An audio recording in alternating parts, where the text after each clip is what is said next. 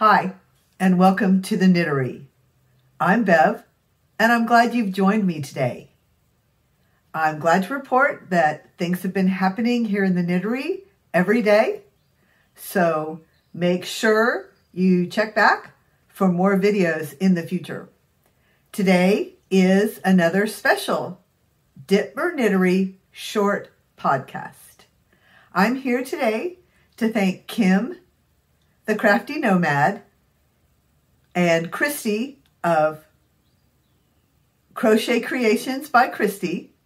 I'm here to thank them for including me in their Christmas ornament carousel swap. I got the package.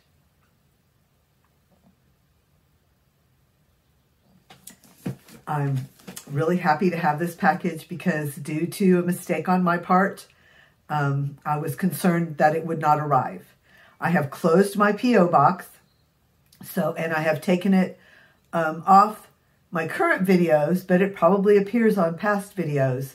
So please know that I no longer have a P.O. box, and you can contact me if you need a mailing address.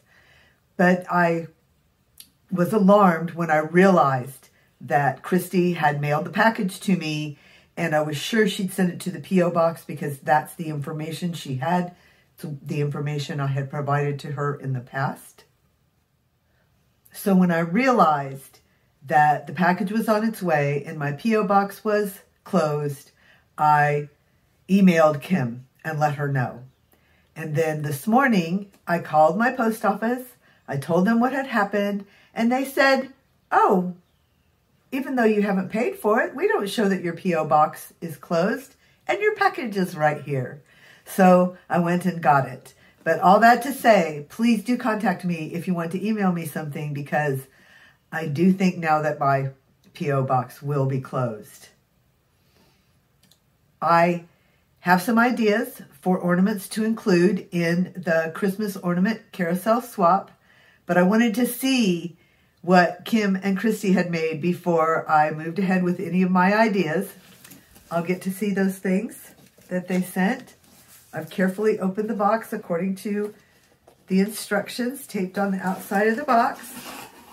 And of course, I'm not going to show you anything that's inside, but I can see that there are lovely little Christmas bags and organza bags with beautiful ornaments inside and so I'm going to take some time after this video to look through this box and hopefully make plans about the ornaments that I want to make, at least one ornament that I want to make to include. So what will happen is I'm not going to show you anything in this box except if I choose to keep something. If I choose to, an ornament out of this box, I will show you that. Otherwise, if uh, I, and I can choose I can keep all these ornaments and replace it with 12 ornaments.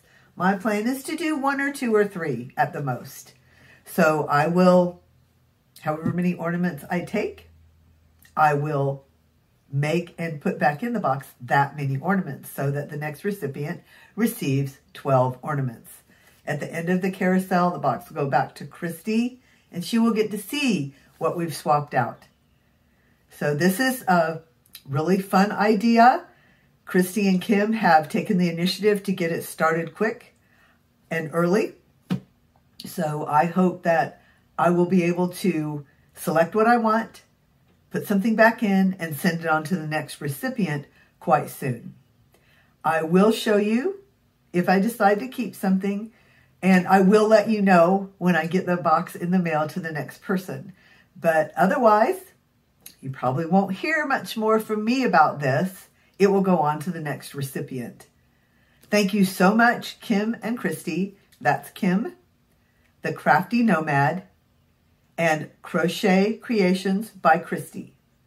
Thank you so much for including me. Thank you for watching, viewers, and I hope I see you again soon.